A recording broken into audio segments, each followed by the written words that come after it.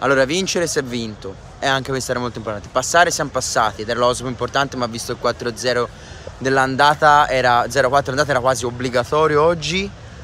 E, però nei commenti mi dovevi spiegare che è successo nel, nell'azione del gol annullato a Cabral, perché anche lì veramente non si è capito nulla, anzi eh, all'arbitro gli era suonato l'orologio ma poi sono andato rivedere, son, eh, dovuto andare a rivederlo. Un casino incredibile. Comunque like, commento e condivisione del video. Mi raccomando iscrivetevi anche al canale. Arriviamo a 400 iscritti che questa Fiorentina è passata e questa Fiorentina batte 3 a 2 il Braga. Allora primi 10 no 10 minuti insomma e, e nella prima mezz'ora di gioco mezz'ora 35 minuti tremendi tremendi proprio abbiamo visto eravamo nervosi con la paura.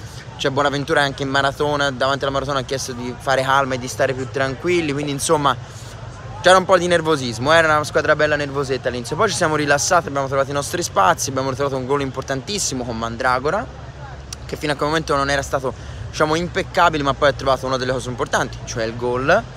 E poi nel secondo tempo anche con, in, con l'ingresso di Terzic che è invertito anche rispetto a Dodò ha fatto molto meglio soprattutto a livello di corsa, di intensità e di atleticismo. Abbiamo ritrovato più spazi in contropiede abbiamo ritrovato anche più ampiezza della manovra e siamo riusciti a fare un bellissimo gol eh, con Saponara che l'ha messo sul 2-2 poi per la cosa di Cabral che non si è capito come sia veramente andata lo scopriremo a posteriori e poi devo dire un, meritatissimo gol di Cabral che con una bella zampata se non sbaglio su un cross l'ha imbuzzata e anche questa è stata veramente molto molto importante. Adesso domani alle 2 se volete passate sul canale che seguiamo in live i sorteggi. La Fiorentina per fortuna e vorrei anche vedere sarà presente e altre considerazioni non le faccio, cioè devo dire allora la difesa molto traballina, devo dire molto insicura su queste palle alte nonostante loro difesi non fossero un granché ma molto più bravi nella tecnica.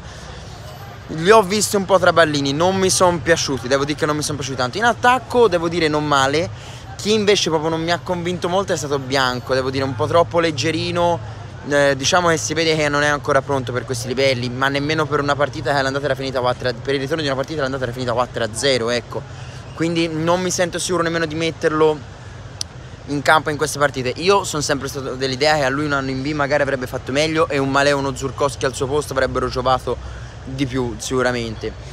Però sono state fatte queste scelte quindi andiamo avanti su questa strada. Uh, quindi vittoria abbiamo vinto, passati siamo passati, adesso speriamo di non beccare una squadra esageratamente forte, oppure no, speriamo di beccare i West Ham almeno così li buttiamo fuori.